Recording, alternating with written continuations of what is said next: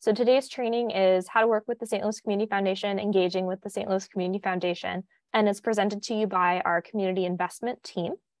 First, we have Elizabeth George. She's our Director of Community Investment. Elizabeth joined the St. Louis Community Foundation in 2018 and has over 20 years experience in the philanthropic sector. Her role is to connect community and donors, whether individuals, families, private foundations, or institutional funders. In community, Elizabeth identifies mission-aligned initiatives or issues and determines how the Community Foundation can best support those efforts.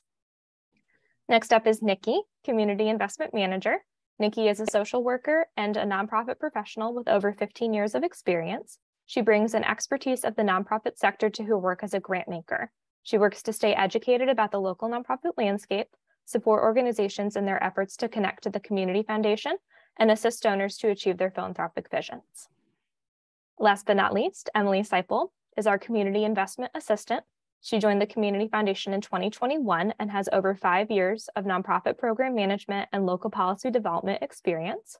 She enjoys learning from nonprofit leaders in St. Louis while providing research and day-to-day operations support for the Community Foundation's grant-making and community initiatives.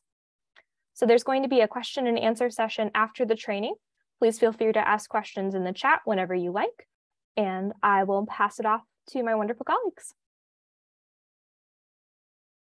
Thank you, Emily. If you could advance the thank you. There we are. We look so, so fancy. Um, in the chat, if everyone could um, share your name and your organization and, so, and one or two questions, if you um, have more than one that you'd like to see answered today. Our team will be monitoring the chat throughout. So we'll be answering questions um, both in the chat and outside the chat, and we'll make sure that everything, um, everything gets answered.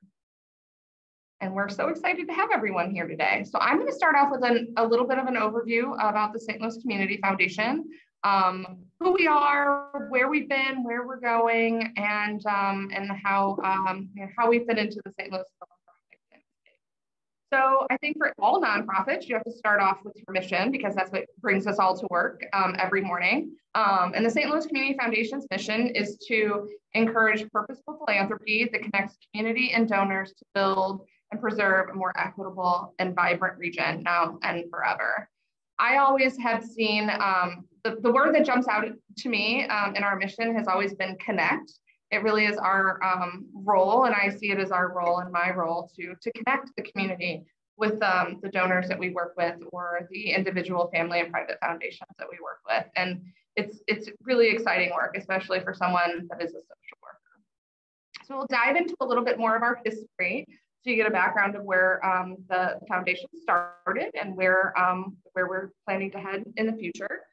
We were founded in 1915. We were actually one of the first um, community foundations established in the United States. Uh, Cleveland beat us by just a little bit, but we were number two. And for many years following this founding, um, following the, the people in the community of St. Louis that came together to, to fulfill philanthropic mission through the Community Foundation, we had a, at a time where we weren't growing too much. Um, we spent a lot of time kind of um, dormant, a little bit dormant. And then during the 1980s is when we really saw our kind of renaissance. And that came because of um, the, the proliferation and the, um, the popularity of donor advised funds. Um, these were, th these became very popular in the 80s for people of wealth to, to put their philanthropic dollars um, aside and essentially create a philanthropic checkbook. And in, this, in the 1980s, the Community Foundation sort of, or the St. Louis community kind of came together and said, hey, we need a community foundation to make these sort of things happen. And lo and behold, we already had a community foundation. So we dust off, dusted off those trust documents and we really started to expand from there. But our major, major growth has really happened within the last 10 years. Um, we have seen our, um, our the number of funds that we have grow exponentially since 2010. Um, oh, I think we're set there. Um, so we started off around 2010 with about 150 million dollars in in um, in assets, and today we have about uh, a little over 500 million dollars in assets. We have over 800 funds. Um, we work with many many donors, families, individuals, corporations, um, people of all sorts that want to invest in the St. Louis community and they want to use their philanthropic dollars to make impact. In 2022, um, out of those 800 funds, the St. Louis Community Foundation made over 7,000 grants, 7,200 grants, and invested over $110 million in the nonprofit community. And we're so proud of that because there are so many different avenues that that happens. And we're excited to talk to you about those today. Oh, it looks like my internet might be um, a little unstable, so I'm gonna go off video. So let's talk a little bit more about how the Community Foundation works. Uh, what, what is it that we do? Next slide, please. Next. So we have a variety of funds that we offer here at the Community Foundation for our donors. Um, uh, those many, many of our uh, funds are those donor advised funds that I talked about. We also have what we call designated funds that are designated to a specific cause, organization, um, specific campaign, whatever those, whatever that might be. Again, that is the intention of the donor. Um, we also have some discretionary funds. This is not the biggest pool of funding that we have here at the St. Louis Community Foundation. Those are the funds, the discretionary funds, which would allow us to do a little bit more community building and um, invest in projects that, that we as the community foundation, not our donors, um, necessarily see as, as worthy investments. We have hopes to really um, grow those discretionary funds over the course of the next 10 years. Field of interest funds, these are, um, again, for specific causes or um, specific projects that, um, that our donors wish to invest in. We have scholarships, and then we also do work with some um, nonprofit organizations um, to hold their endowment funds. As some of you may, may understand, investing and holding investment funds can be a really difficult process, and some organizations don't want to take on the management of that and we, we can come in and, and assist in that way. Next slide, please. Nikki, Who I... we support. Oh, go ahead. Do you want to keep going or? Uh, I, I'm sorry. I, I totally did what you did to me last year. I, I. No, I'm going to let you go. Sorry. Sorry about that. Best laid plans. And Nikki is such a wonderful presenter and speaker that it's hard to hard to stop her once she gets going. Um, so there's a question about clarifying the field of interest funds in the in the chat, and I will go back to that. So a field of interest fund is a fund that is around that's established around a particular field or a particular area of interest. And we use those in many different ways. So for instance, our COVID fund was a field of interest fund, and the field of interest then was COVID response.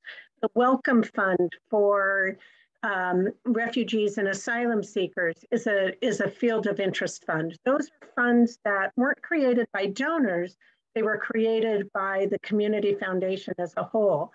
Um, the, the other we do have donors that create field of interest funds. And that is if they say, you know, I want to, um, I want to give in the area of children, youth, and families, or I want to give in the area of the environment. I want to give in the area of the arts. Then the, a field of interest fund um, gives them the ability to do some things that you can't necessarily do with a donor advised fund um, and yet still specify that area of interest that, that the donor um, is, wants to support um, philanthropically. And if when the donor, um, when it's a donor led field of interest funds, we don't have, you know, it's just like with any other donor advised fund, um, the donor really con controls where those, those grant decisions are made. So I hope that helps clarify that a little bit. Okay, so who do we support? Um, we do support individual donors. Um, so those are, you know, from those individual donors, we're going to talk a little bit about that, you know, how they can, the range of donors that, that we work with. And we support community. If you go back to that mission, it's connecting community and donors so that we can build a more equitable region, right? So we can be more purposeful in our philanthropy. Our CEO always says that if you think about the community foundation as a um, as a triangle, the individual donors are the base of that triangle that that provide much of the fuel, but the apex is the community. That's what that's the where where we have our greatest impact.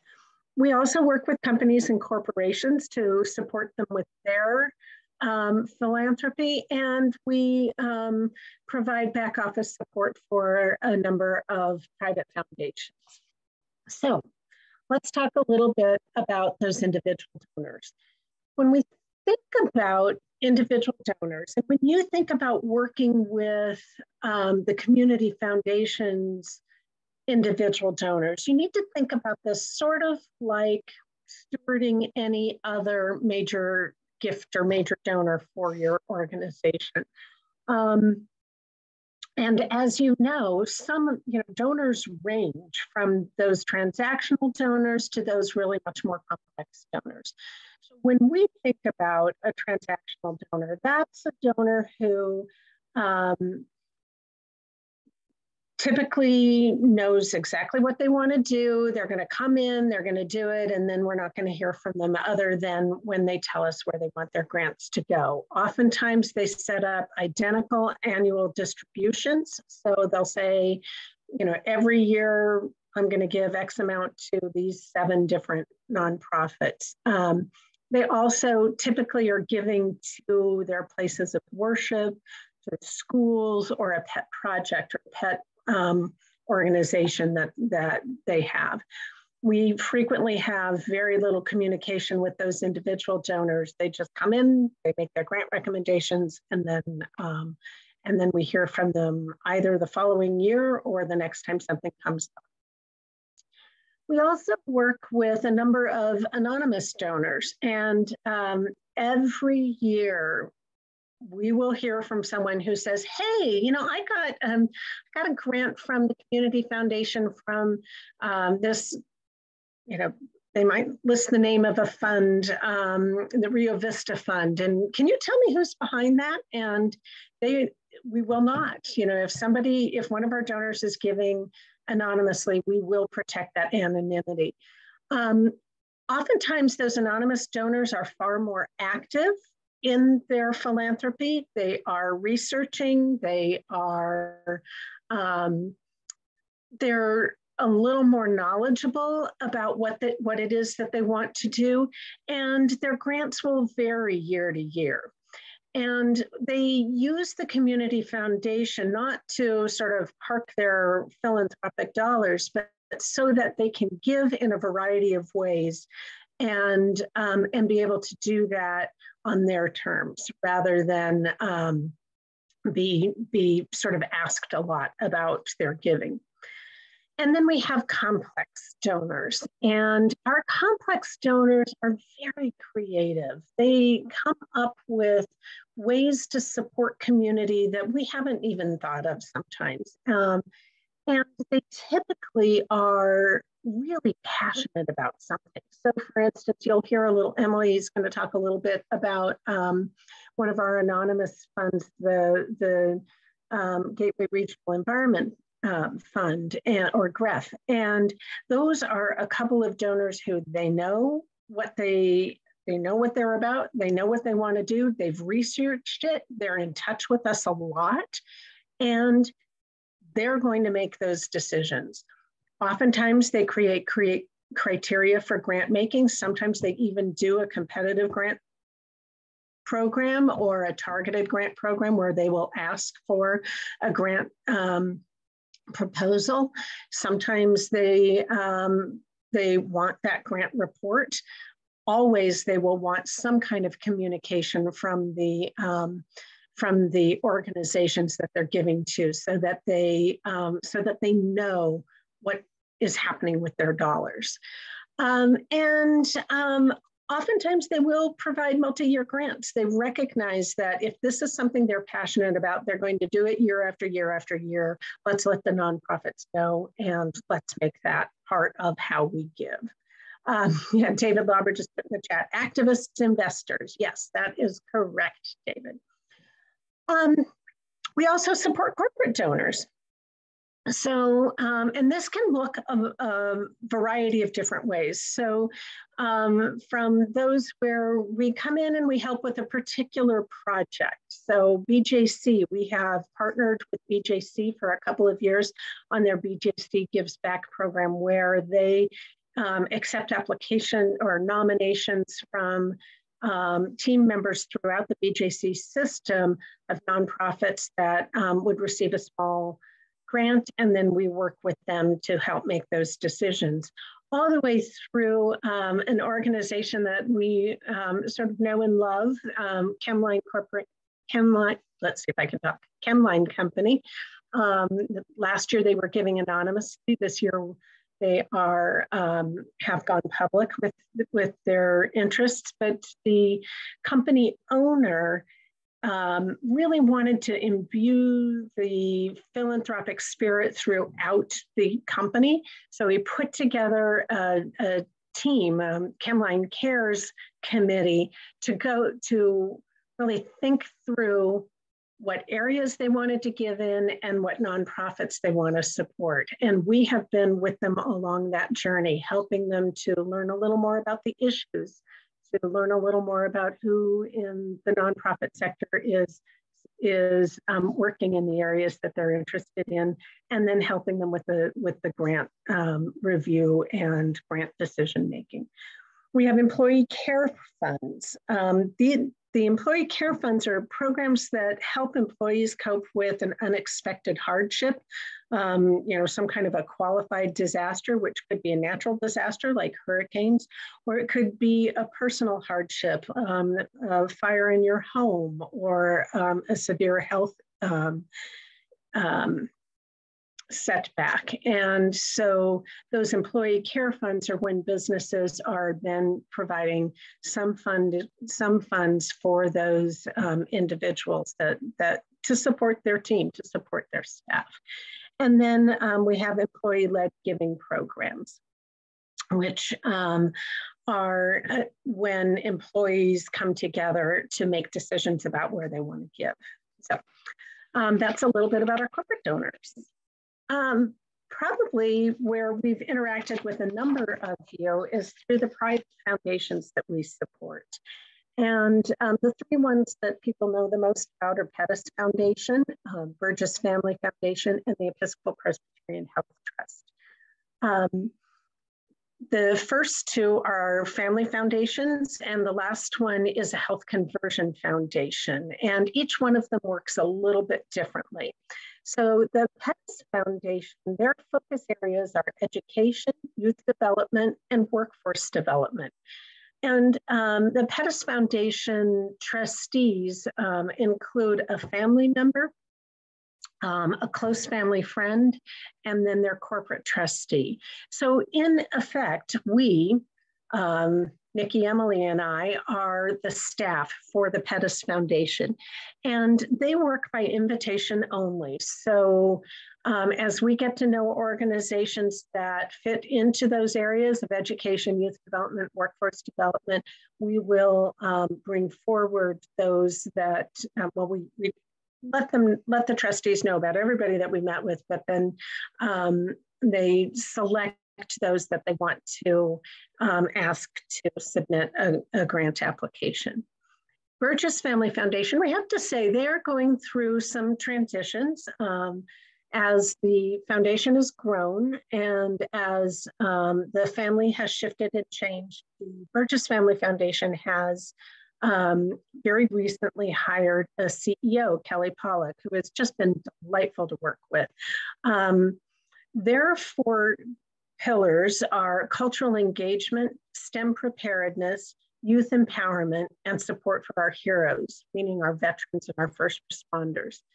And um, online, if you look at the, either their um, website or our website, you will find a link to their letter of intent that you can fill out online. And that is the way to start the process of um, conversation with, um, with the Burgess Family Foundation.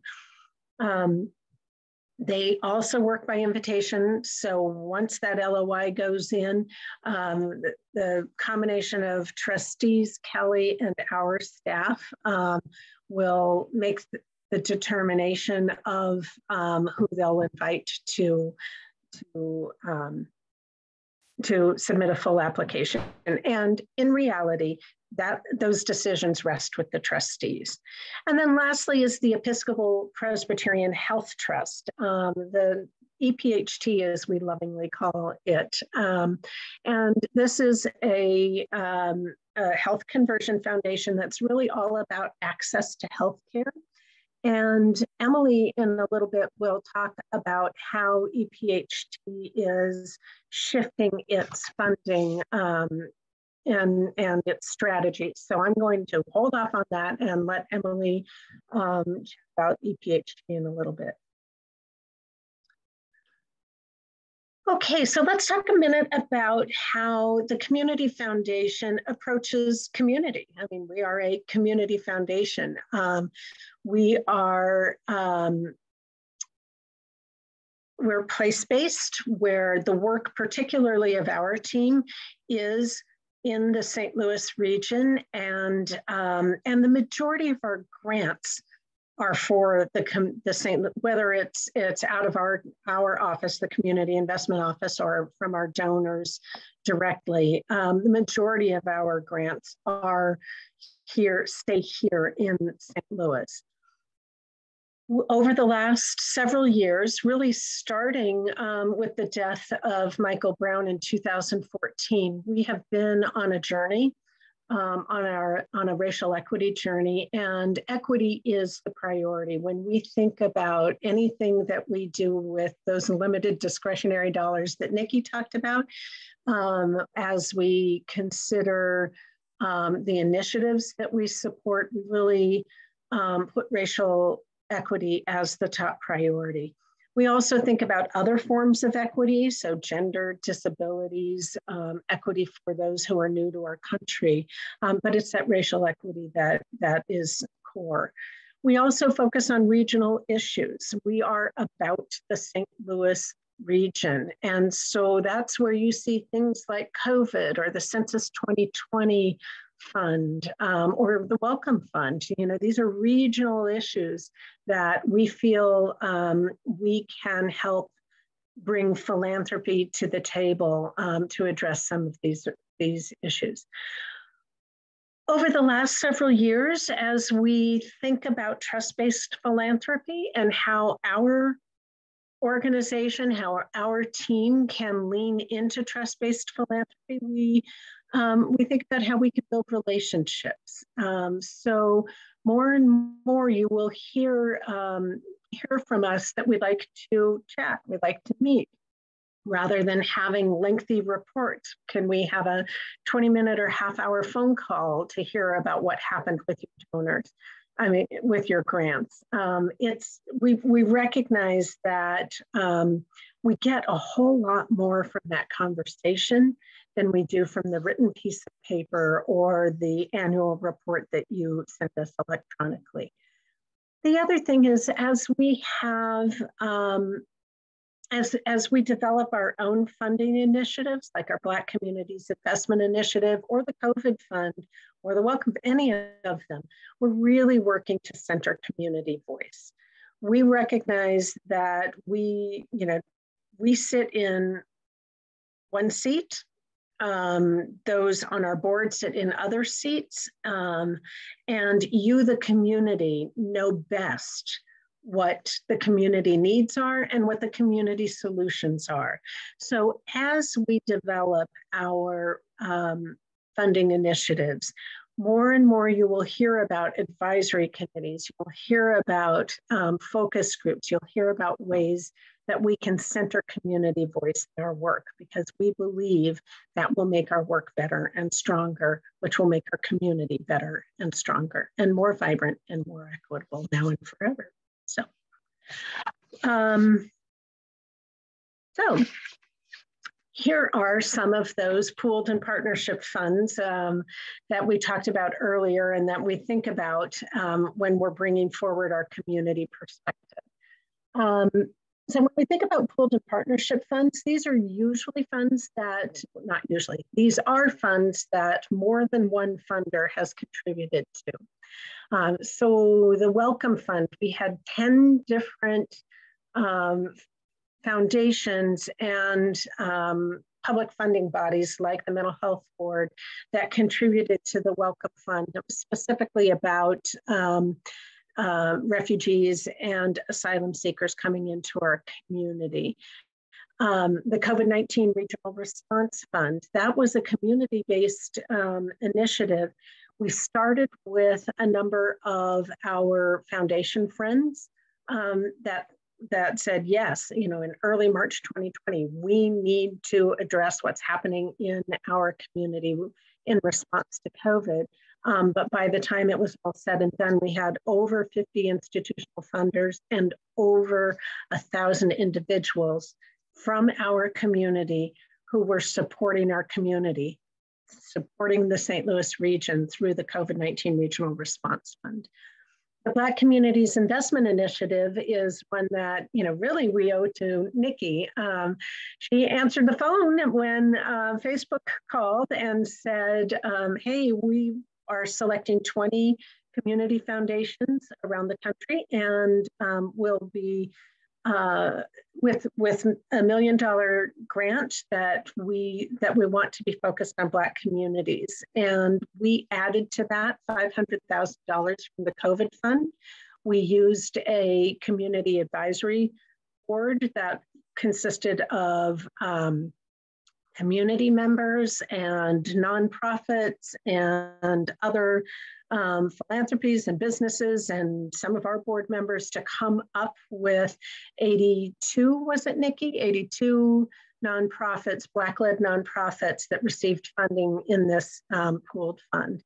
And then if we think way, way back to 2019 when we were prepping for the regional census fund, this was another pooled fund that um, that was made up of um, again 10 different institutional funders that came together to say we want to make sure that the St. Louis region is well represented in the 2000 census. Um, sadly, that got slightly um, sidetracked by COVID in 2020.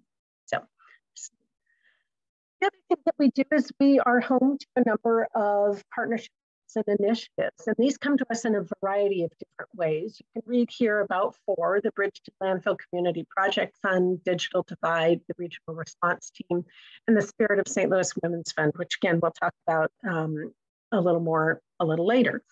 Um, the two I really like to highlight here, though, are, um, are the Digital Divide and the Regional Response Team. The digital divide is a multi-phase effort to address the various aspects of the digital divide, just as it says. Um, and, and typically when we think about digital divide, we think about access to Wi-Fi and we think about access to um, the equipment, the laptop or the or the hotspot or something. Um, but really, what we are talking about here is a much deeper understanding of, um, of how lack of access to, um, to the digital world, the internet, um, and an understanding of how to use and how to work within the digital world um, impacts not just education, but health, employment, um, older adult services, that whole um, general communication, that, that whole gamut of how the digital world impacts um, people today and what it means when that divide is um, if if we don't um, if we don't address that gap and how that will um, keep inequities going in our community. Excuse me. The regional response team grew out of our COVID response. Um, it was um, the regional response team um, was pulled together first by Jason Purnell at the request of the um, county um, of the St. Louis County to to see how we how the RRT could coordinate services, working with the COADs, looking, I'm sorry, the um, community organizations active in disasters, um, bringing in other sectors that um, can help support or could help support the, um, the the COVID response um, and to really think about long term recovery and how we get past just the immediate response into how do we think about leaving our community better and stronger at the other end. So in September 2020, we became the fiscal sponsor for the regional response team. Um, and they have just been terrific to work with and um, as they think about the you know the inequities in our community and how COVID really sp spotlighted those. Some of the efforts they've been working on are long-term flood response, um, eviction prevention, education around um, health disparities, that kind of thing. Um, so that is, um, and then the next slide shows a list of the partnerships and coalition building efforts that we're a part of. Um, and this could be, this is, you know, a limited list um, and it, it, it includes not just efforts that Nikki and Emily and I are involved with, but also others among our um, among the team here at the St. Louis Community Foundation. We get involved in a lot of different things and we do so so that we can help identify efforts of organizations that are impacting needs in our community. And as I said, this is, this is just a partial list. Um, it's, it's hard to keep track of all the different things that, that our 18 staff are, are involved with. So that's a little bit about who we support and how we do it. Um, I'm going to turn it over now to Emily. Awesome. Um, and I would encourage anyone who's here to check out the YouTube page for the St. Louis Community Foundation because we did a training earlier this month that um, went into um, some more details about grants and some of the things that we know that we look for or some of our um, stakeholders look for in a grant application, but I'm just gonna do kind of an overview of the grant programs that we support. And Elizabeth has already done some of that too. So we'll tag team that. Um, so the types of grants that we're talking about um, kind of fall into two different camps that um, right side or left side of the slide um, is just really focused on what it looks like from kind of that donor advised fund perspective where someone may come in and already know what they are um, interested in supporting. Um, and that is really kind of a just an internal process. Um, and we are, we are really excited as a team when we get invited into that conversation where someone comes and they have an area of community work they're interested in. And then because we're in communication with all of you, we get to say, hey, don't miss this group, or we know that this need is um, is being ex exacerbated right now. Um, consider investing here. So um, that all kind of happens on not necessarily a predictable basis, but it's really exciting. And so that's why we um, encourage you to let us know what you're doing um, so that we can be prepared for those conversations. And then what we spend a lot of our time on is the competitive grant programs. Um, and that's where a few of those donor advised funds um, have come up with a competitive grant process, but then we also do that kind of consulting and back office work for the private and family foundations um, that Elizabeth mentioned. And so, um, no, I'm just gonna go this side. Uh, basically the difference uh, we um, put together this little meme, um, really straightforward. And then this is the other side of this uh, thing you, you know, it it takes a lot of work for you to put together those um, grant applications and we spend a lot of time reviewing and evaluating them um, and as do our fund holders and uh, the boards that are making these final decisions. Um, so practically what this looks like um, is there's a list of programs you can find on our website um, and I'll just kind of go over a couple of those now. So the Charless Foundation just closed, so please tune in next year at this um, just a bit earlier in the fall next year if you if you missed that one. And that one is uh, very place-based and with a specific population serves older adults um, in South City um, in a couple different ways. And um, that will be open again next fall. And then the Gateway Regional Environmental Fund and the Guy B. Jaffe and Judy Schwartz Jaffe Charitable Fund are ones that will be coming up. Um, so keep those on your radar. That will those grants are awarded in second quarter. Um, and the Gateway Regional Environmental Fund is really laser focused on carbon reduction.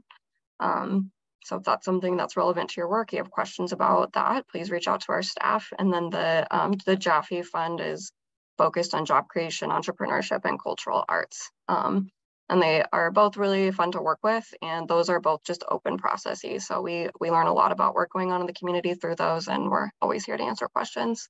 Um, and then the Spirit of St. Louis Funds was on a previous slide as well, but that one's unique. It's 200 um, philanthropically minded women who um, have pooled their resources together to do a grant making process um, rather than one board or family. Um, and so it's a lengthy process, but each time um, you kind of get different folks uh, reviewing your work and um, getting interested in what you're doing. And again, our this is under our umbrella. So if we're throwing it out there to you, um, we welcome questions and kind of interaction with you based on these programs.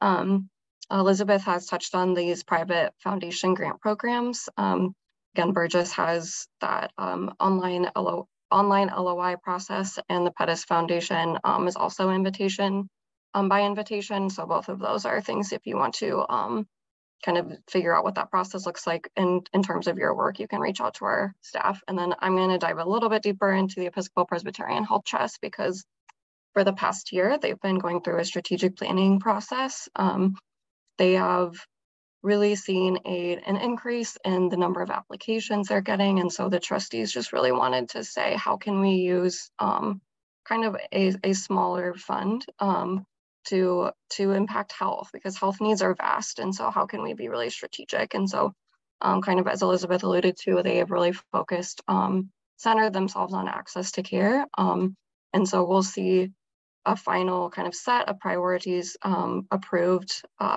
or modified by quarter four for this year. And um, the information on what those priorities will look like and what the process, um, any process changes will be um, posted to our website, any NEPHT's website. And just because we know that any change can be kind of disruptive and you might have questions, we're going to do some virtual sessions for nonprofits around this program. So there's three dates listed here. All of those, um, the content will be the same. So you don't need to come to all three. And we'll be posting those um, information on those will come out. Um, so you don't have to, you don't have to rely on this, but um, this would be a good moment to say if you're not signed up for our newsletter, um, please sign up for our newsletter because our communications team, um, Emily Bauman, who introduced us, uh, they're incredible and they will make sure that that information gets into your hands. Um, and that's the one of the ways we support nonprofits outside of financial supports too. That's that third bullet point on here is um, our communications team makes sure we um, publish the information relevant to our programs, but also does a good job sleuthing around the community for other um, capacity or grant opportunities that might be relevant to your work because um, while we have a lot of things under our umbrella, there's a lot of um, really important work that isn't as represented in our priorities. Um, we wanna make sure that you know about the groups that are investing in your work um, so other key ways to kind of engage with us outside of these grant programs is Give STL Day. Um, if you meet with us, we will tell you about Give STL Day because it's really exciting um, way to get your, your mission and name out to the community. Um, kind of unlike working with our donors who you know, have enough um, resources to set up a donor advice fund. You can have new donors at Give STL Day that are donating $10 and they might you know, want to be with you for years and years and years because they're so excited. So Give STL Day is a really exciting way for nonprofits and donors to connect kind of in a different, unique way outside of the rest of what we do. Um, and this year is going to be the 10th year. Um, so there'll be extra buzz. And um, just like last year, if you were part of it, there will be trainings released on how to really take advantage of that day. Um, and so you can find last year's trainings online at the Give STL Day website. Um, and then as soon as registration opens, we'd encourage you to register early so that you can take advantage of new trainings this year. Um, fiscal sponsorships are another way we support nonprofits. Um, we are pretty strategic in who um, we, we utilize that um, support for, um, usually doing some community-wide work. Um, and a lot of our fiscal sponsors have kind of flown off and become their own initiative. It's really exciting. I'm very proud of their work. So Gateway Early Childhood Alliance would be one example of a fiscal sponsor organization um, that just had a really exciting um, win with ARPA funds. So yeah, we're, we're really proud of, of those relationships. And if you have more questions, again, that can come to our team and we can help you navigate that process. Um, nonprofit endowments has already been spoken to. Um, one thing I would highlight with that is some groups that are um, a local chapter of a national organization have been interested in that so that um, if, if some structure ever changes within that organization, that resources are still being committed to purpose-driven work in this community. Um, and then also our team has been doing trainings like this outside of the Give STL Day Circle, just so that some of your questions about how to work with um, community foundations or um, other, other topics relevant to you can be addressed. Um, we're open to what you might like to see next. Um, so I probably sound like a broken record through some of this, but we really encourage you to reach out to us um, and ask questions and check in. Um, that can be around a specific grant program that makes it a pretty easy conversation so we kind of know what you're interested in but we also you know have introductory conversations with groups frequently just to find out about their work um, there's a lot of new nonprofits there's a lot of nonprofits who have been working for a long time but we just haven't gotten to connect with them um, in the past so this is your invitation to make sure that we know what you're doing um, and if we can be a resource to you in any way we we hope we we we look forward to that um, and then whenever we have those conversations or outside of that, we welcome your marketing materials. Don't create anything for us, but um, we just whatever you would typically send um, out, just one pager, something like that, so that we have it on hand. Um, helps us have internal conversations and um, just means we're ready with um, we're ready with kind of a bite size uh, snapshot of what you're doing um, whenever that comes up, so that we can advocate for your work.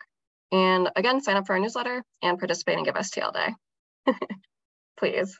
We love we love to see um, folks getting resources and um, some buzz on that day.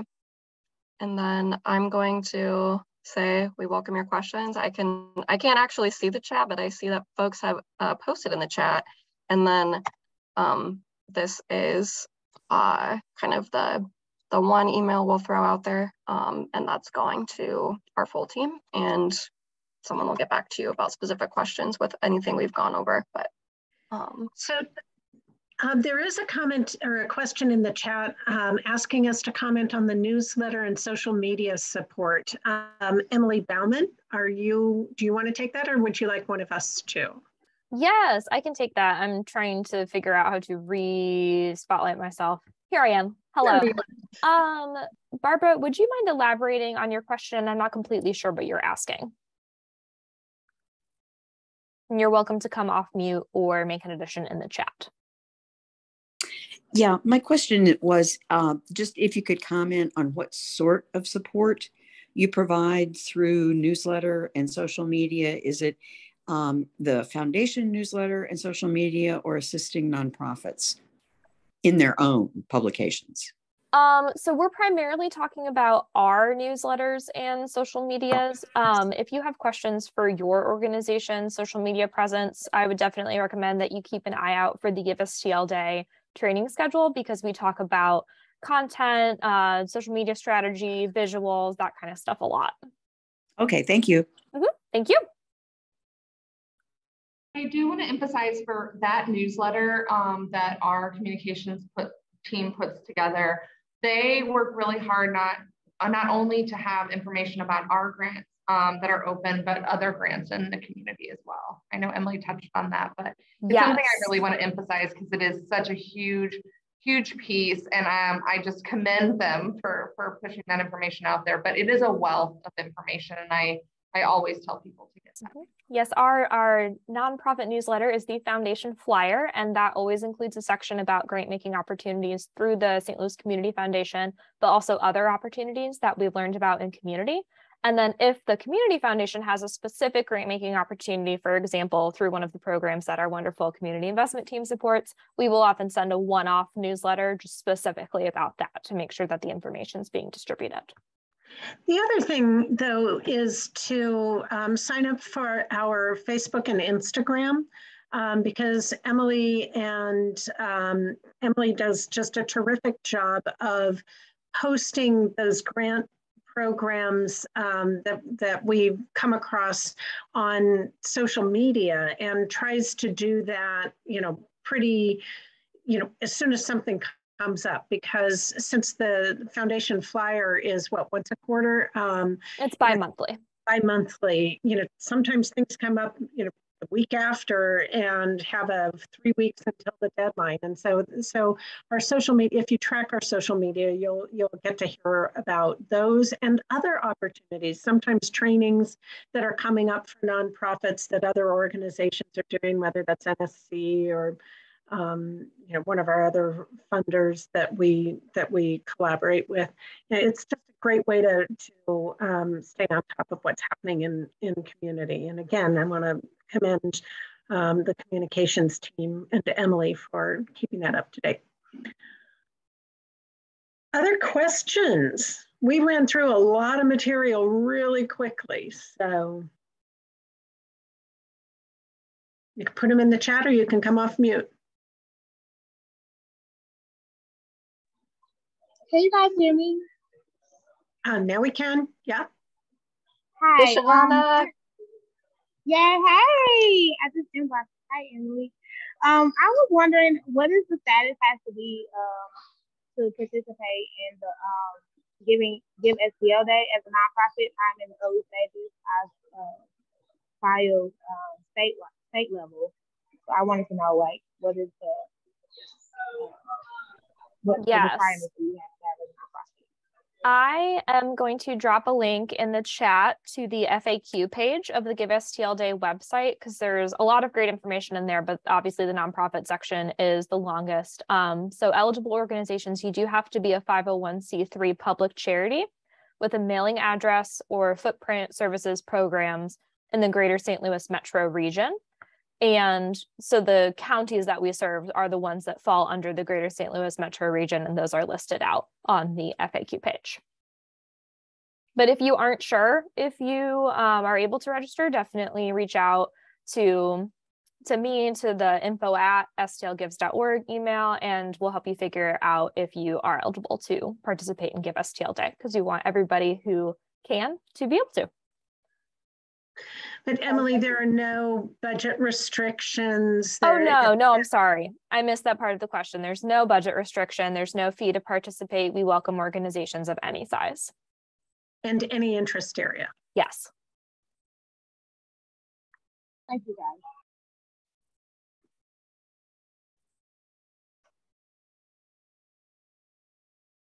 Anything else?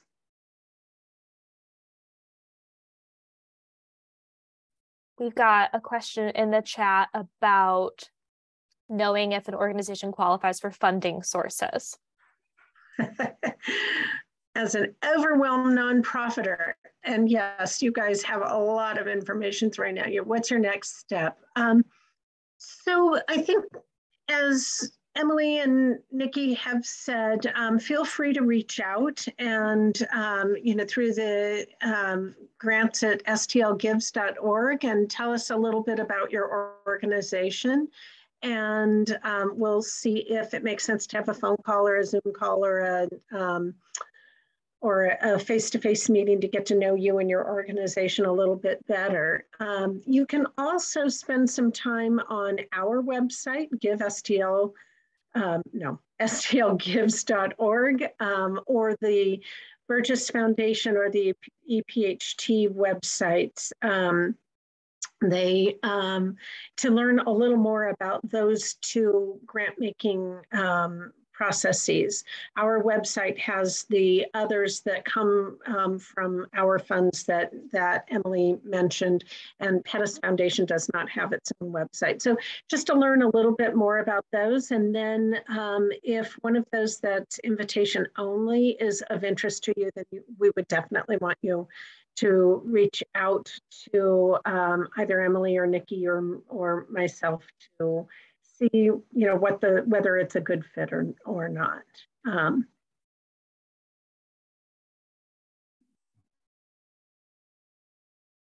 I'll, I'll jump in and say the other thing that can be helpful about conversations with us is we're very honest that we aren't always the right fit, but um, we are we are I always like to say two and a half social workers um, since Emily, Emily's master's is in urban planning.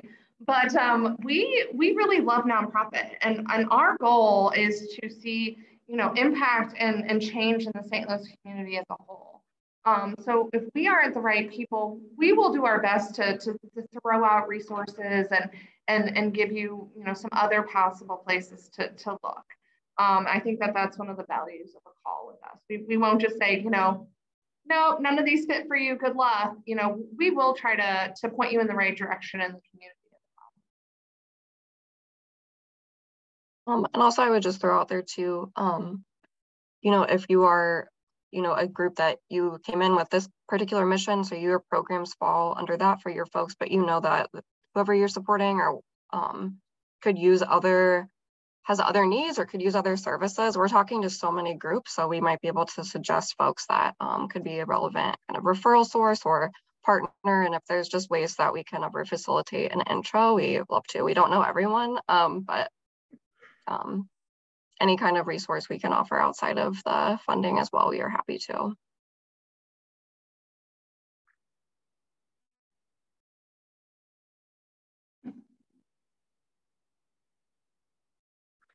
We have nine minutes left. We can answer additional questions or we can give you a little bit of your day back. The one thing I will I will um, point out on one more thing is with the newsletter, the other thing that is important is sometimes um, we didn't really emphasize this, but sometimes some of those grant processes, we have those that are static that we work with, you know, annually, year after year, or whatever that grant process might look like. But with things like the Black Communities Investment Initiative, the Welcome Fund, um, those are really responses to something happening either around us or funding becoming available to us in some way. And those are those are things that that tend to pop up, and we work so hard to get the message out. Um, but that's where that um, that newsletter comes into play as well. If something new was to come on our radar, that would be in that newsletter. And and it's like I said, it's just a wealth of knowledge.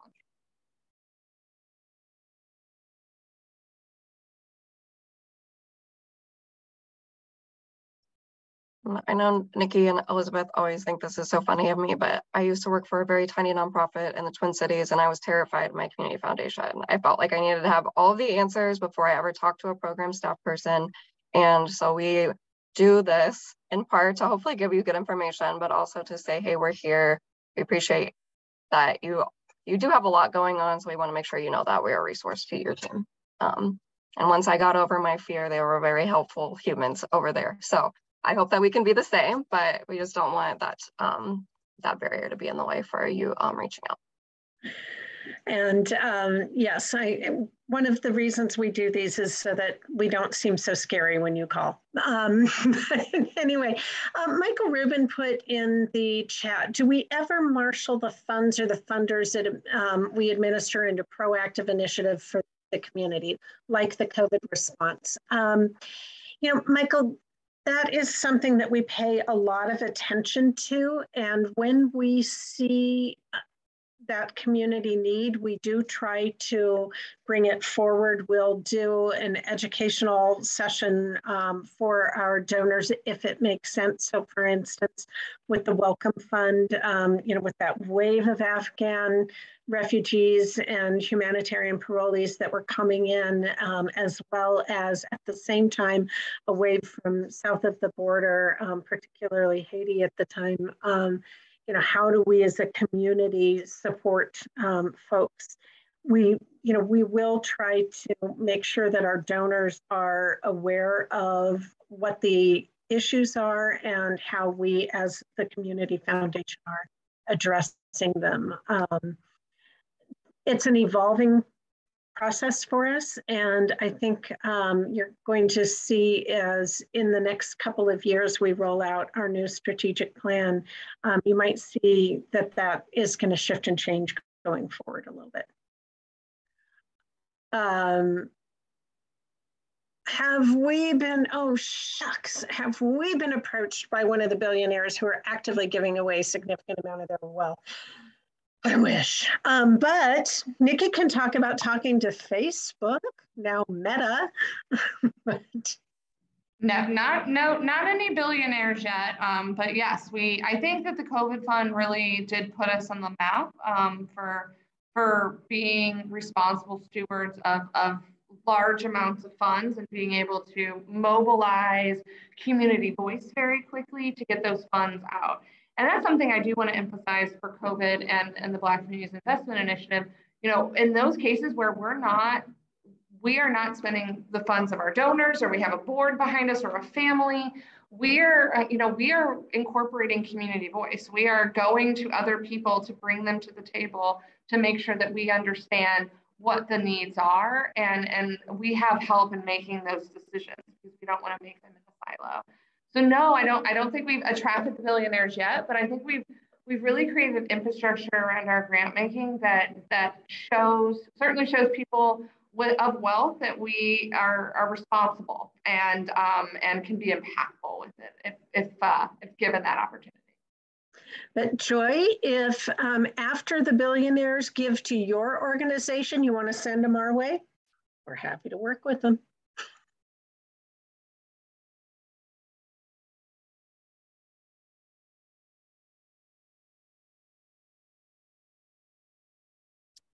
Well, if there are no further questions, or if anybody wants to send a question later to the community investment team by emailing grants at stlgives.org, uh, we're always here for you. I'm also always here for you from a communication standpoint, but I think we can give you back a few minutes of your morning. Go ahead and stop the recording and look forward to seeing all of you again in the future. And thank you to the community investment team for another great presentation. Thank you all for joining us this morning. Thank you. Thank you, Sally. That's such a nice comment at the end. Thank you. Appreciate I'm going to go ahead and stop the recording.